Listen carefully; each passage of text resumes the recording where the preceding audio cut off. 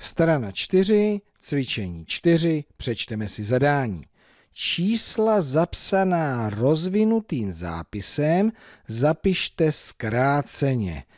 Rozvinutým zápisem. To je vlastně zapsáno, jak bych to mohl znázornit. Takže kdybych to znázorňoval, a vy to můžete udělat, protože máte ty šeky, ty cihličky, ty bankovky vyrobené, takže kdybyste to znázorňovali, takže byste si vzali 6 deseti milionových šeků, 4 milionové šeky, dvě stotisícové cihličky, pět desetitisícových, tři tisícové bankovky, jednu sto korunu a pozor, stovka tady je jednotka, tady chybí, takže ještě 0 krát 10, to zapomenete na 10 koruny, nebo neznázorníte je, ale v rozvinutém zápise by měly být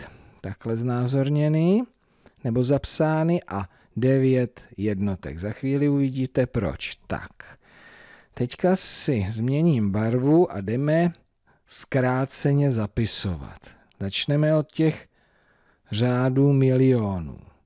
64 milionů, řády tisíců, sta tisíce, desetitisíce, tisíce, 253 tisíc, 253 tisíc a teďka jedna stovka a kdybych skočil sem, zrovna na jednotky, jak bych tady mohl vytvořit tenhle nesmysl. Když mám tady zapsáno, že nejsou znázorněny, zapsány desítky, tak už na tu nulu, no, spíš nezapomenu. Uvedu ji. 109. 64 milionů 253 tisíc 109. Tak podíváme se na B. Kdo znázorňuje, tak já vám budu říkat, co si máte vzít.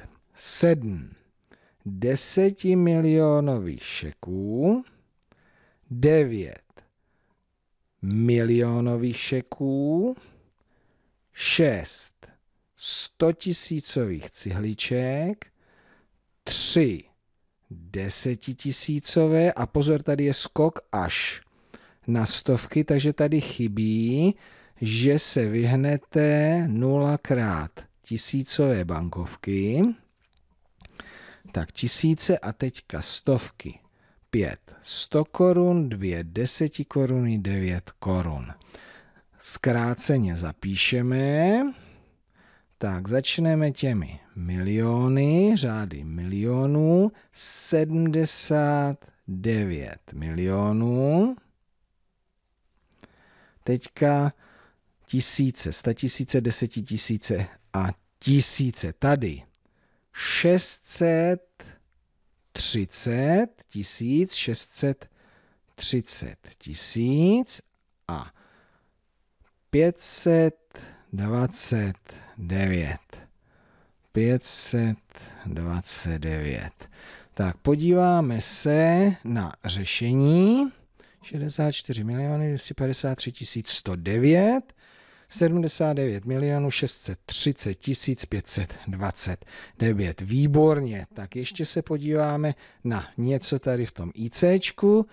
Tak a budeme zapisovat. Tak 4 10 miliony 2 miliony 500 tisíc 30 tisíc 8 tisíc 150 a není zde žádná jednotka.